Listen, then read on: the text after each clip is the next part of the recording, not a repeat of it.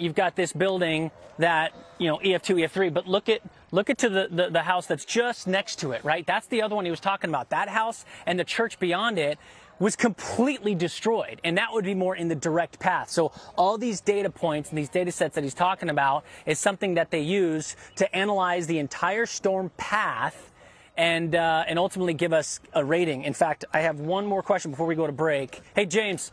Sorry, I, I, I had one question pop up. Do we know um, track length yet? How long this was on the ground? You guys know? Uh, I heard, I read somewhere it was an hour and 50 minutes on the ground.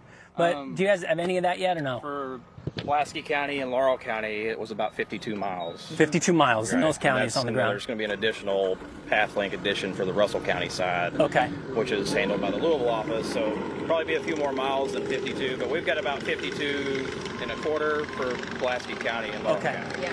Thank you guys so Yeah, much. I appreciate Yeah. that because I, I was just curious. I mean, I know that this storm system just traveled so far. Uh, best of luck today. y'all All right. Stay safe this afternoon and this evening. Um, all right. So anyway, it gives you guys some perspective of what it's like, and that's why you know it's a great relationship to have us in the weather industry, just working with each other. Those guys, they do so much for us, and, and their jobs are definitely needed. So it's uh, it's great to see that they're out there helping each other.